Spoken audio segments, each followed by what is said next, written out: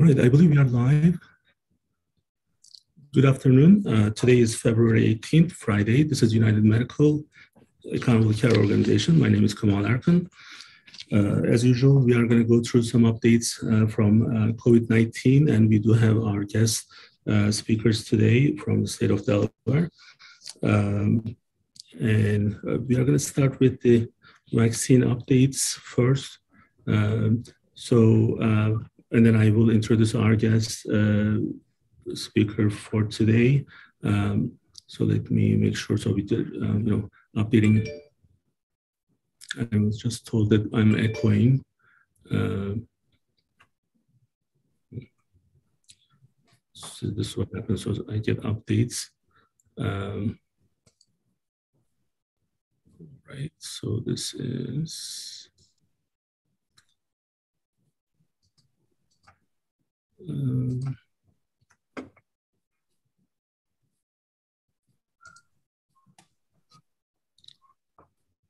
so I just update the audio setting. If the echo is still happening, I can look into it, but um, just waiting for staff to uh, confirm. So um, while I'm going through that trouble, uh, Sean, we can actually give the updates on the vaccine, um, where we are right now.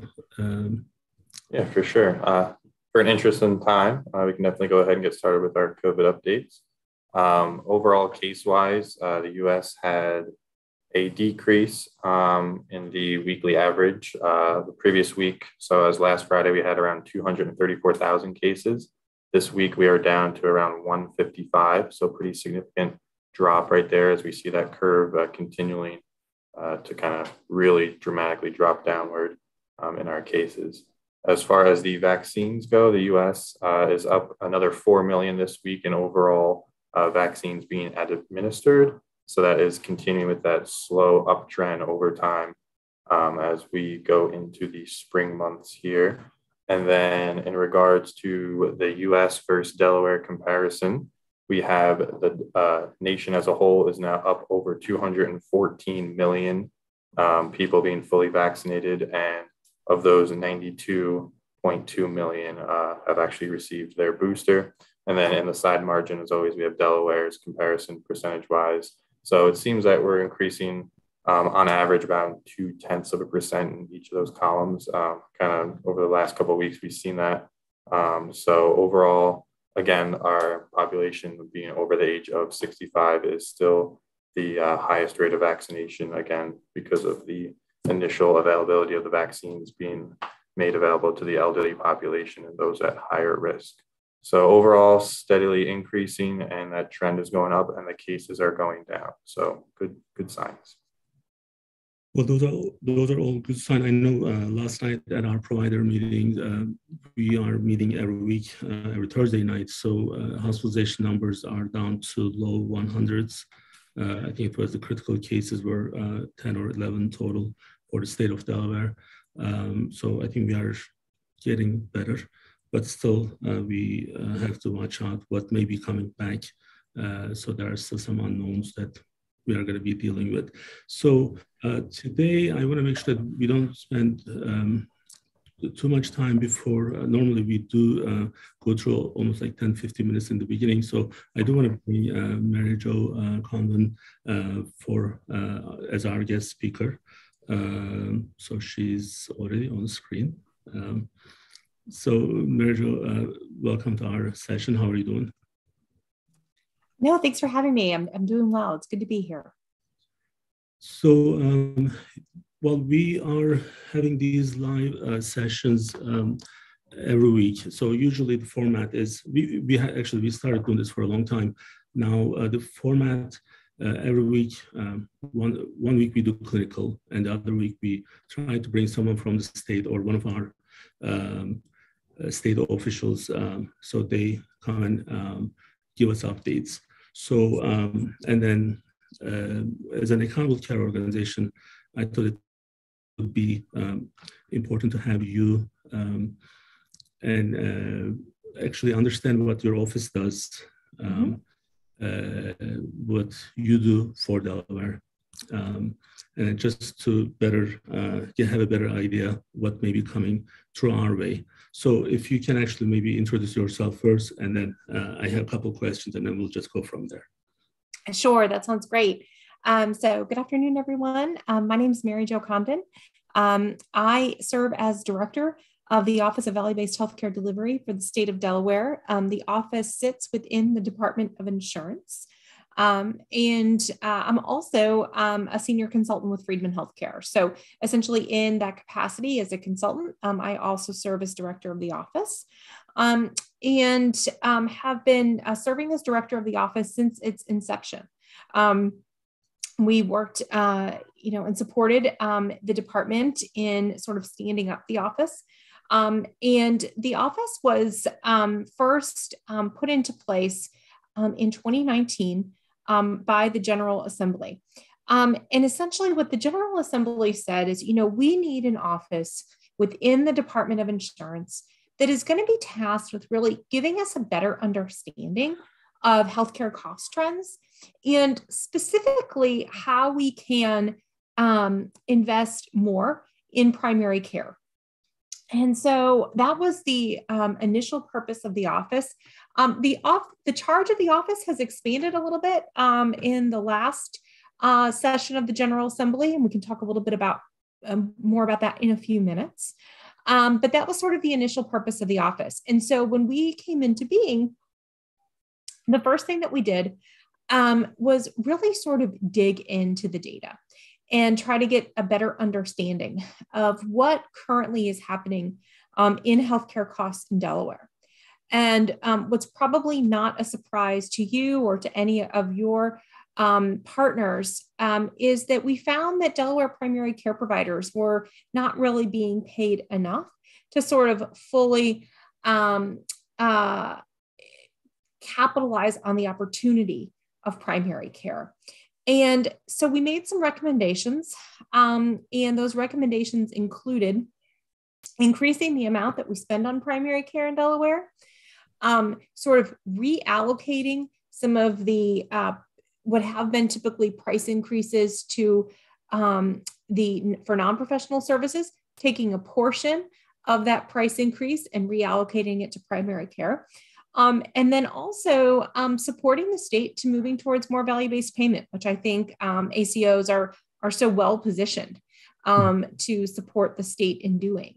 Um, so that was sort of our initial recommendations. And um, last session, the General Assembly took those recommendations, kind of uh, refined them a bit, and put them into statute. And so we can talk a little bit more about that statute too in a few minutes. So um, I think one of the questions uh, that we have um, uh, with the triple aim and everything that we are trying to do from the primary care side, as you know, uh, you are familiar with our organization. Uh, yeah. So uh, the uh, the triple aim is one of the main goal for for all of us.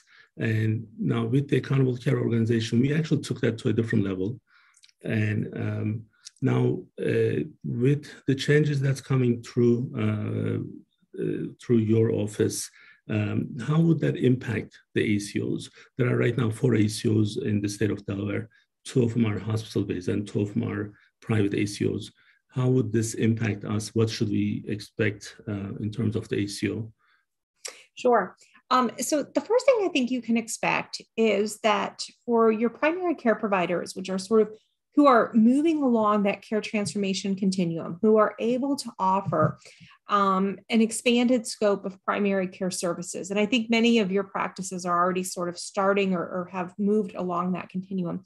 Um, you're going to see higher reimbursements. Um, so one of the um, one of the pieces of the statute is to increase um, primary care reimbursement um, to a defined percentage mm-hmm. um, of total cost of care. And the other thing that the statute does, and specifically that the, the draft regulations that we released um, do, is also say that if you are providing services, primary care services, that would be paid for by Medicare on a, on a non fee for service base, basis, um, but are not currently paid for um, on a fee for service basis or a non fee for service basis by commercial insurers, they need to start paying you for those services. So if you're doing um, uncompensated care management services that you don't have a revenue stream for, um, those sorts of things, basically the carriers need to um, expand um, mm. their non fee for service payments. And they need to meet certain requirements in terms of the percent of the total healthcare dollar that goes to primary care. Um, so that's what's sort of happening on the primary care side. Um, the the other piece, and actually before I move on, one thing I want to make really clear about that is that you know the office has been explicit that increased reimbursement um, needs to come as part of sort of a statewide movement towards advanced primary care. And so you may wonder, well, what do you mean by that? Well, the Primary Care Reform Collaborative has started to think about what that includes. Over time, we don't expect this day one. This is sort of an evolution for all of us. But over time, it's going to include things like integrated behavioral health. Mm-hmm. It's going to include things like um, having folks who are on the primary care team who are really dedicated to supporting patients and connecting with social services, um, including things um, like care management, including things like 24 7 access to um, some type of care delivery that's not the emergency room. So, what we're really hoping is that this increased investment um, helps to fund a lot of the initiatives, the care delivery initiatives that you all have probably been wanting to do for some time, um, but haven't really had um, the, the reimbursement streams um, to make those financially feasible. Um, the other piece that it does, and that's right, that's that that's that PCP shortage. We'll talk about that as well. Um, and the other piece that it does is, you know, as you all maybe know, Delaware is a state that has one of the highest rates of per capita participation in um, in MSSP programs, in, in CMS sort of accountable care MSSP programs. Um, so we have not. People are listening. So MSSP is the accountable care for Medicare. That's right. Exactly. Accountable care for Medicare. Thank you. And we haven't seen that on the commercial side, right? So on the Medicare side, lots of Delaware providers through your ACO, through the three other ACOs, are participating in Medicare programs that aim to improve the quality of care, achieve that triple aim that you had up a minute ago, and do so, um, you know, while also hoping to reduce costs, right? Yep, which is, is part of that triple aim. Um, and they've participated in Medicare programs to really sort of support them in achieving the triple aim, um, which are which is the Medicare Shared Savings Program. Um, on the commercial side, what we've heard from providers is we would love to be part, have programs like that with the commercial carriers, um, but we haven't really been able to agree on terms. And mm-hmm. what we hear from the carriers, we'd love to have programs like that with the providers, but we haven't really been able to agree on terms. Um, and so, what the what the statute and what the regulations do is essentially help give people some guidance and guardrails around how to get to terms um, that everybody can hopefully agree on. So um, I think uh, I give the spoiler a little bit with when I was, this is our new format, so uh, I have to do some of the stuff on my own. So I think one of the big issue is um, the PCP, primary care shortage. Um, oh. Now, from our side, um, I've been in the medical field for almost 23, 22 years. And I probably, as a person, uh, from the personal side, I probably did the most number of interviews uh, to hire a physician in the state of Delaware. Now, state of Delaware also have a J1 uh, program for those um, who, uh, those um, regional areas where you don't have enough providers, so you can actually hire foreign graduates. Um, and they come and serve for about three years minimum. And I probably did about 30 J1 applications in the last uh, 20 years. Um, and many people don't really understand what these are. But with the hospitalist groups, with the primary care groups, and other specialists, uh, if I'm, I may not be, if I tell you if it's more than 800 people, providers that I interviewed, that wouldn't be an exaggeration. So, but the shortage is still there. So I wasn't able to hire enough people. So, yeah. Um, how is this affecting? Uh, like, do you have any um, uh, any plans on addressing the primary care shortage? I know with the physician assistants and the nurse practitioners that we are utilizing, that helps. Um, eh, and then there's also the claim base, uh, which uh, some people may not really understand. If you can kind of talk about those uh, so that we have a better understanding. Sure. Um, so the first thing I'll say is that I think there's a lot of consensus that um, in Delaware, primary care providers have not been paid enough um, to attract new primary care providers to the market, or in some case, retain the primary care providers that we have. And there was a study that was done by the Department of Health um, and, and, Social Services not long ago that really sort of documented um, this. And it's also referred to in a report that um, we put out at the office uh, a couple of years ago. Um, the piece that I would really emphasize here is that if we remain solely focused on using additional dollars to attract only new MDs and DOs and even NPs and PAs, so physicians, nurse practitioners, physician assistants, um, I think we're not going to be successful. So I think what we really need to do is a couple of things. One is we need to pay primary care providers more, right? We're not paying primary care providers enough. Two, we need to compensate primary care teams for providing a full range of primary care services. And mm-hmm. we need to um, make clear um, that if we want to achieve the triple aim, um, that will not occur through you know nine to five office visits right it needs to, with a with a physician or even with a nurse practitioner what we really need is a primary care team that represents the full complement of expertise and experience that a variety of providers can bring. And we need to, you know, allow the primary care physician and also the nurse practitioner and physician assistant to mm-hmm. really practice at the top of their license, right? And so, um, in some cases, that's going to include seeing patients. Um, but in other cases, it's going to include um, coaching other members of the primary care team on how they can support patients. It's going to include looking at data and seeing patients as a population, identifying those that are um, most in need of the expertise of a physician, and also thinking about those that would benefit from care by other members of the care team.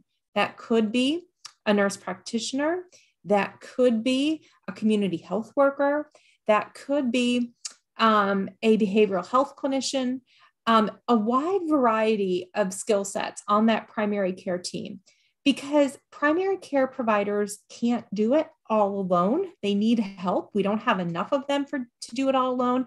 And I would argue that beyond not having enough of them, it's not really the best use of their time or expertise. And so, really thinking about how we use them more strategically, but also paying primary care um, in, a, in a fair and sustainable way.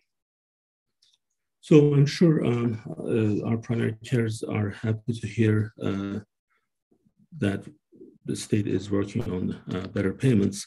Now, um, the I think the other issue uh, with the payment uh, is one problem, but I think the representation of the uh, primary cares in the state committees uh, in some of these decision-making um, uh, departments, um, hospitals are getting more more louder voices than we do, um, and I was really hoping that ACO would be a way to fix those uh, representation issues so that uh, ACO can represent the, all of our private practices, which are mainly primary care. Um, anything that is uh, on the uh, on the way to uh, maybe address those representation issues from your side? Sure. So, a couple of suggestions I would make. One is um, we released um, draft regulations on Senate Bill 120 Um, just a few weeks ago, we received public comment. Um, I don't believe we received any public comment directly from an ACO. So, providing public comment on things is one way to have your voice heard. Um, we do have revised regulations that'll be coming out on um, March 1st. So, um, would encourage you to take a look at those and, and feel free to, to, give us your thoughts on them through the public comment process. Um, the other thing I would say is that the Primary Care Reform Collaborative is in the process of recruiting members for its work groups. And so, um, your, um, you know, I would reach out to them we don't oversee that process. We're a separate agency, um, but we work co- very collaboratively with them. And I would reach out to them and, and volunteer your time and, and, your folks' time and let them know that you're here to provide input um, because I know that they're looking for folks to join those work groups. Yeah, you know, the um, uh, unrelated to this, um, you know, working with our primary care very closely, um, sometimes we get direct messages, text messages. Even now, I'm getting messages. So uh, one of the issues, um, there's these services available um, that sometimes Medicare makes these and Medicaid makes these services. Uh, available, but there's really no clear way of knowing who's going to provide these services. And primary care offices, they're already overwhelmed with so much that they do. And like today, uh, so if I may just read you one of my messages. Sure. Um, uh, so this is, um, you know, is Medicare now paying for the um, uh, bathroom rehab, which uh, like the message was like this. I had to kind of Google it right away because sometimes you're in the middle of something and you don't know what this is talking about. So there is a service that actually some Medicare plans can pay for um, certain renovations for the patient's bathrooms. And patient yep. patient hears this, and then they uh, the first thing that they come is their PCP. They don't go to their cardiologist and then they don't ask their cardiologist, write me a letter to qualify me for this. They come to their PCP. So I think hearing from That's you, right. um, hearing from you that uh, PCP uh, payments uh, increase on the PCP payment is the uh, one of the main focus is is actually really um, uh, helpful. Um, so my uh, next question for you is, I think part of what you are doing is um, ensuring the compliance and uh, price uh, transparency in terms of the hospitals and the ambulatory payment uh, classifications for outpatient facilities. Hmm. So, um, what do we have in place today in terms of um, uh, pricing. Uh, patients, do they even know that this is available to them? And I try to explain these in our live sessions, uh, but um, how are we going to ensure the compliance and the uh, compliance and the transparency on the uh, pricing? Sure. So I think there's a, a, couple of questions built in there. So let me kind of try to break them down, and then at the end you can let me know what I missed. But um, I, the first question I heard was around hospital price transparency. And mm-hmm. so I think what you may be referring to there is that there's a, a federal executive order that is requiring hospitals to post their prices. Is that, yeah? And they um, doing that already. Uh, there are some websites, uh, like Medicare websites, uh, that yeah. make that available, but it's not uh, it's not very straightforward. So, the, I, like if I'm just always thinking about my parents, if they were to use Medicare. Uh, my dad is 81, mom is 71. How would they actually, how would they use that uh, complex system? And it's not easy. Uh, but you're exactly right. That's what I'm referring to. Yes, absolutely. Um, so a couple of points on that. So one is just to clarify, um, that is a, a federal um, requirement. And so we do not have oversight over it. However, that being said, um, because we do have a responsibility as part of our state mandate to produce information and reports around pricing, uh, healthcare pricing in Delaware, we did include in our most recent report a section on compliance, essentially put in a table that showed which hospitals were complying, which ones were not, and how they were complying or not complying. Um, that's so one issue is basic compliance. Did you put the information up on your website, right? Um, and I'll tell you what we find is that hospitals, not only in Delaware, but nationally, are generally not in compliance, not in full compliance with that requirement. And so the federal government is doing a variety of things to consider how they can make them in more compliance. One thing you might not be aware of is the fines for noncompliance are very low. And so when you have low fines for noncompliance, it's really hard to get people to comply, especially when it's something that they don't want to do. So, so actually, compliance uh, is uh, well, more than 85% of the hospitals are not uh, complying with the rule. That's right. That's what I said. Is that is that people are not complying with it, and I think one of the reasons why people are not complying is one, they don't want people to know their prices, but two, the fine is low, so there's not a lot of incentive to comply. Um, the next piece that you raise is, um, you know, really around how um, how are we going to um, make these sites better for consumers to be able to use them? Right. And you know, I don't know if you've so over the last mm, probably 10 or 15 years, there's been um, what I think has been a positive evolution in the Medicare hospital compare site. It's still not good, but it's better. And it's gotten easier for consumers to use along the way. Um, I personally have used the um, nursing home compare site several times to try to find um, nursing home care for relatives. And that, I think that site has gotten better. I hope that over time the transparent the price transparency sites get better too.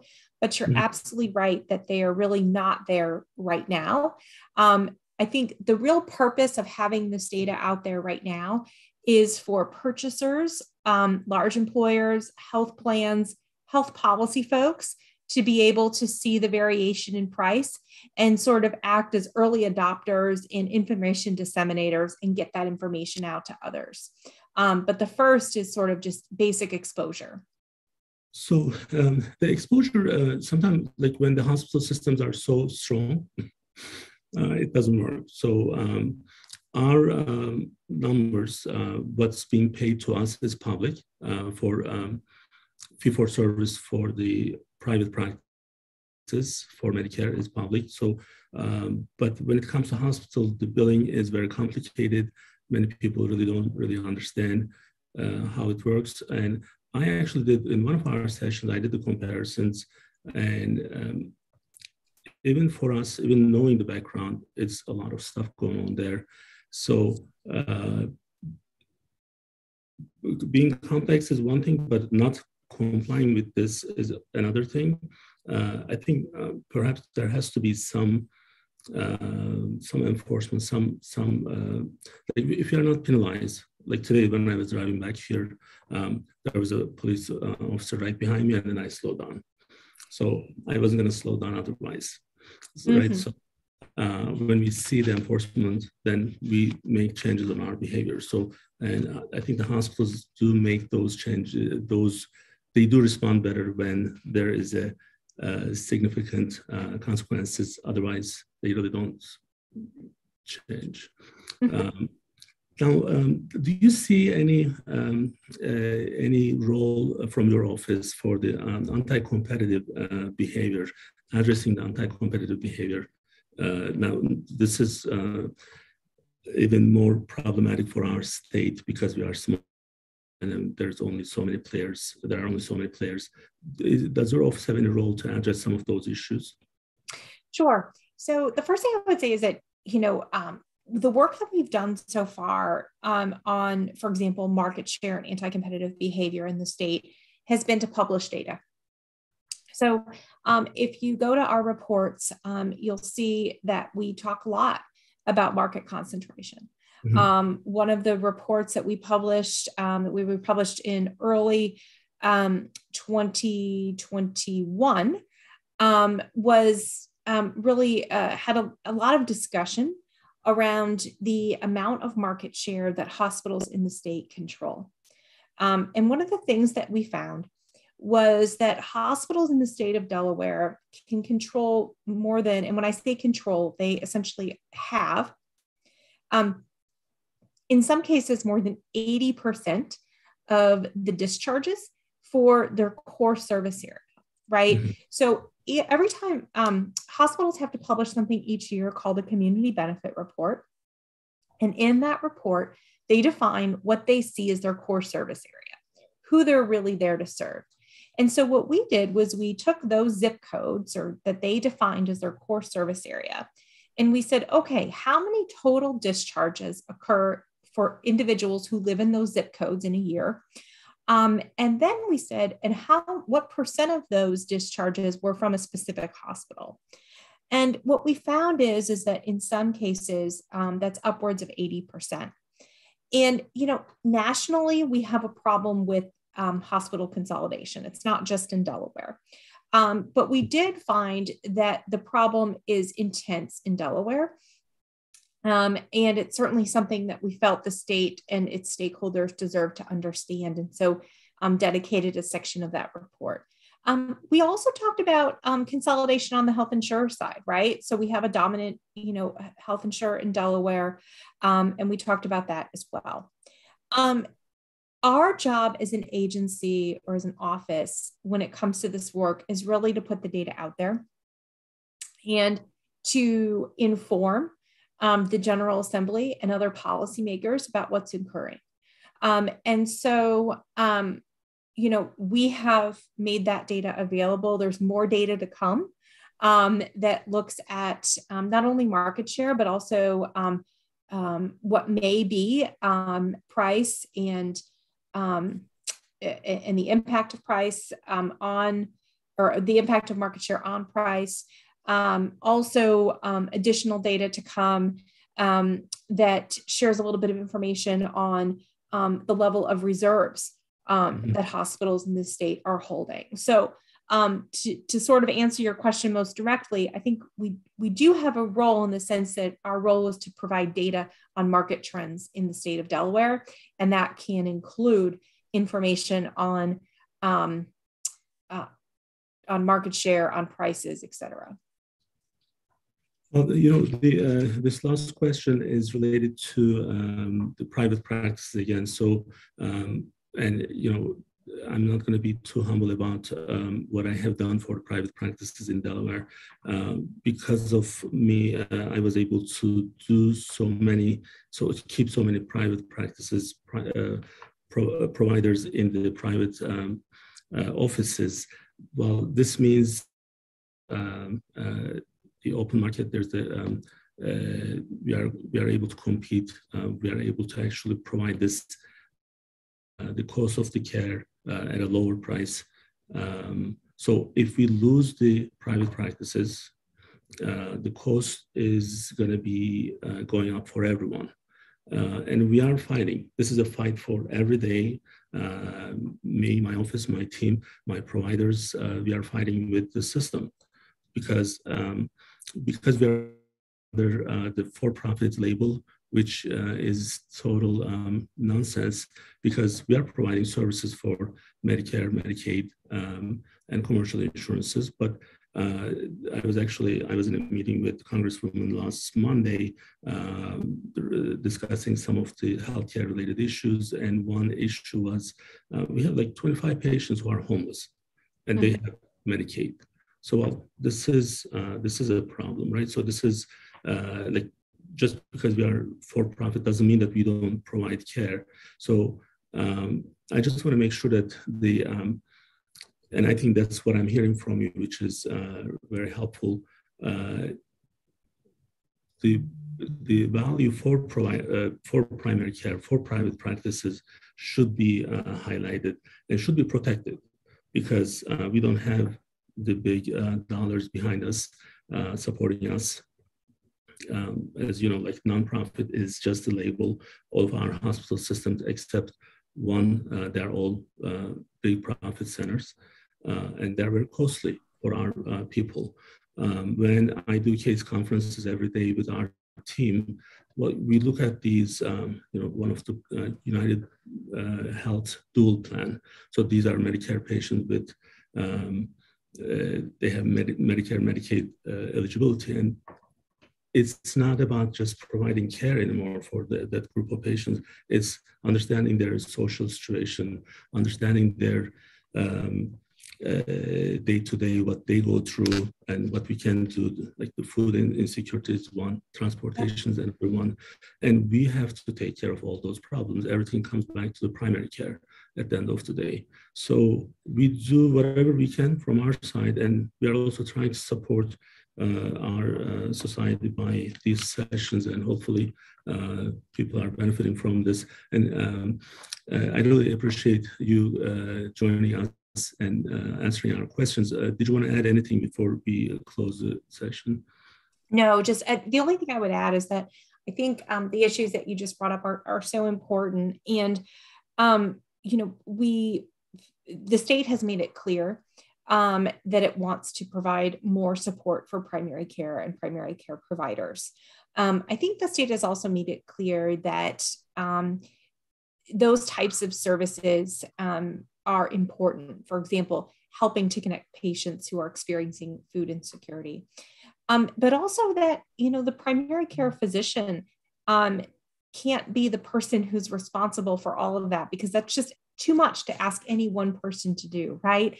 And so, really thinking about how we can best deploy care teams um, to ensure that patients receive um, the care that they need that their social drivers of health are addressed as well as their clinical drivers of health, as well as their behavioral health issues.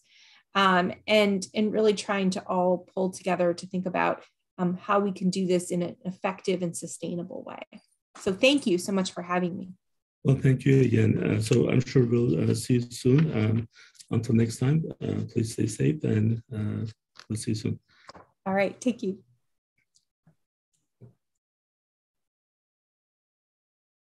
All right, so um, my uh, next speaker um, is uh, from the revenue cycle management side. So Carlos. Hey Kemal, can you see me? Hear me? Yeah, I can hear you loud and clear. How are you doing? I'm good. How are you doing? Good, good. Um, so uh, we are going to do the reporting. Um, so what I'll do is I'll actually uh, open PowerPoint for this section uh, as part of the presentation.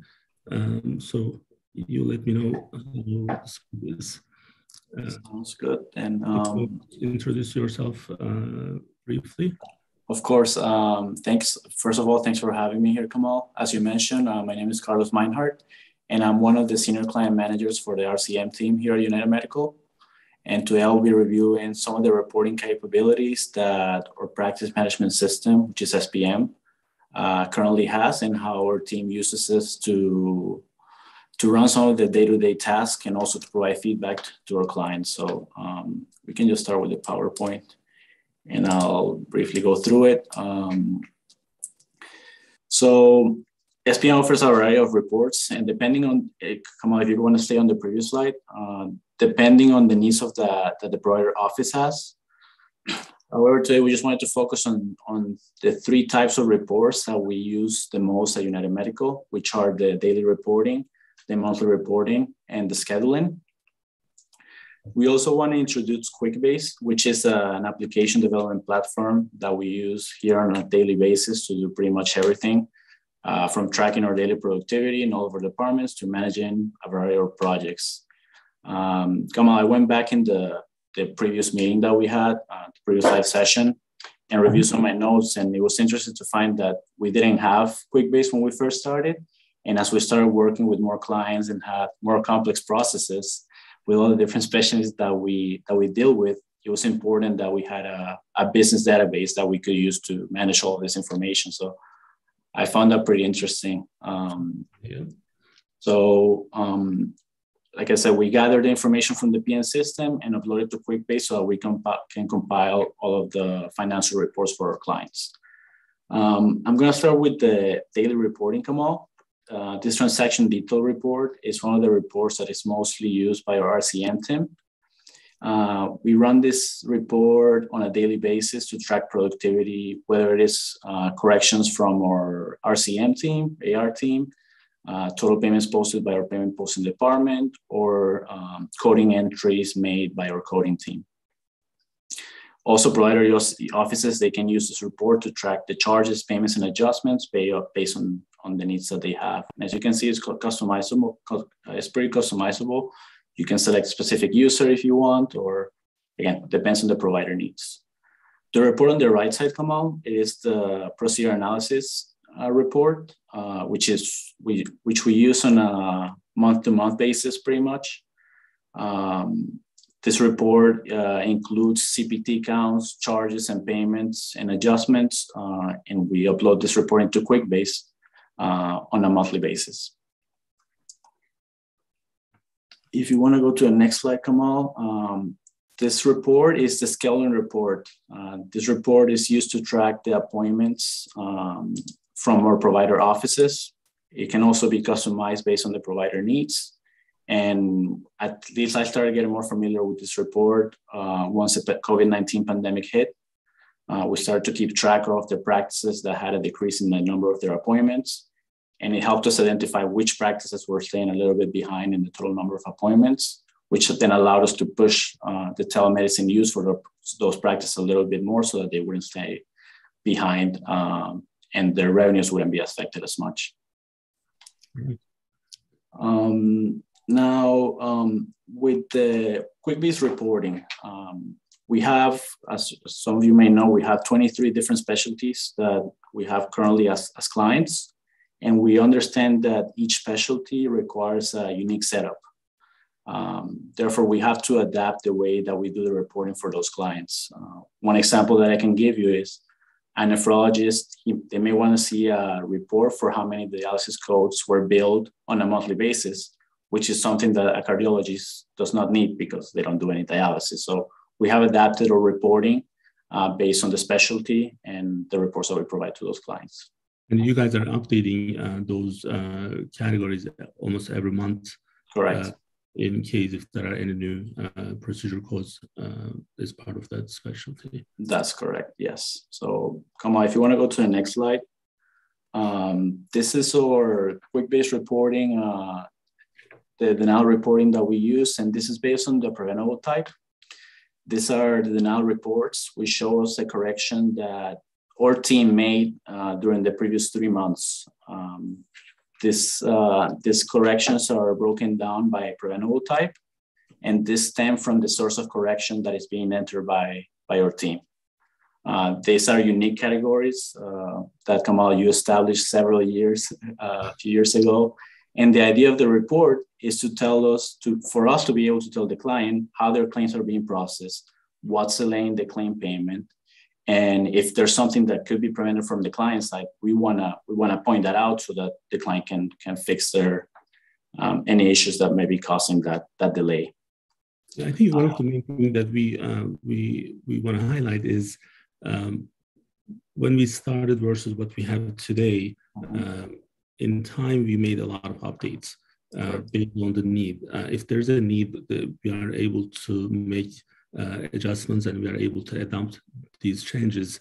And that's part of the system that we are um, we are able to uh, develop. Um, and I think um, correct. We're able to comfortably talk about this. So because you are part of that system.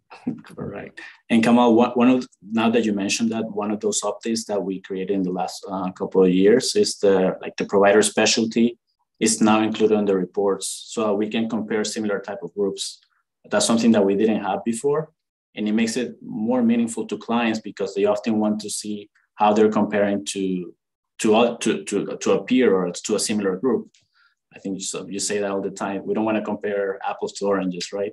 So, um, yes. Now, uh, the next report is the main the main category by client specific. This report provides a breakdown of um, based on the denial origin, uh, check-in versus checkout, um, check-in is typically any insurance type of denials that our team is correcting. Let's say incorrect insurance was billed for a patient, an inactive insurance was billed, or uh, incorrect ID was entered uh, for that insurance that was billed. Uh, we make those corrections. Uh, we resubmit the claims to the insurance. and we provide the feedback at the end of the month to the clients so that they know uh, what's being done incorrectly. On the checkout side, uh, it's typically if a CPT code was billed incorrectly or a modifier was missed by the checkout staff, we usually um, also include in the report and review it with them um, on a monthly basis. So now Kemal, this report is a little more detailed report and summarizes the total corrections per denial code uh, that our team uh, had in the in the previous three months. So it just gives is a little more detailed breakdown of each of the corrections that we made and the, what the client can correct on their on their end. Um, I have a couple more slides, Kemal. Um, we just also wanted to show a little bit of the financial reporting and I think it's just a little bit slow. Um, that's that's why. Are you able to see it? Yeah, I can see it. I can see it. Okay. Um, this is a report that shows a breakdown of the charges, payments, and adjustments for one specific line during the year 2021 and 2022 um, is the first one of the first reports that we have on our annual month reports, and uh, it's very useful for the clients just to see where they stand in terms of productivity and the payments that they're receiving. Um, so pretty much, um, uh, Carlos, these reports, I'm going to actually um, get to some of the others. So these are the reports that you are, uh, our team, are sending to the providers on a monthly basis. So our providers, our clients are receiving these um, reports every month in the same format. Um, the, if there are any changes that's made, um, that may be the only thing that they see, uh, but the rest of them are going to be, uh, the, main thing is consistency and the systematic, like everything is happening uh, every month in the same way, so then they can make these comparisons. So um, the uh, I know we have a couple other slides, and I may actually ask you to come back um, for this. Uh, of course.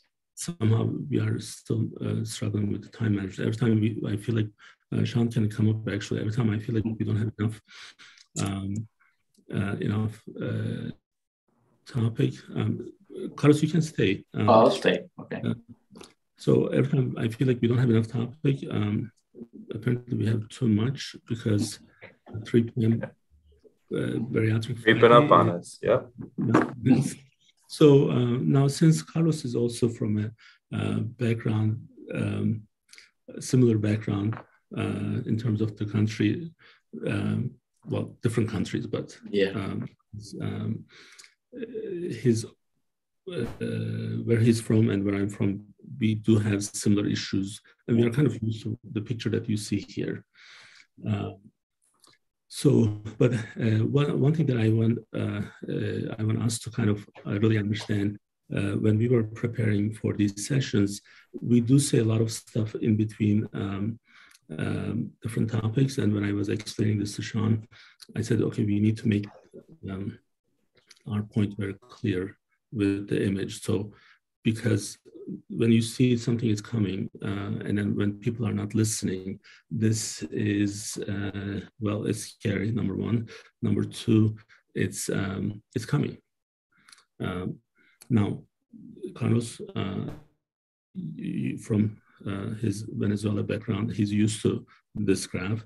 From my turkey background i'm used to this graph. Um, i'm slightly older than these guys but uh, not more than a couple of years so yeah. Uh, the problem is now this is becoming the norm. So uh, Sean is not used to this. Um, so now he's going to get used to this because it's coming. Um, I don't want to scare anyone. I just want people to prepare. So why the national debt is over 30 trillion?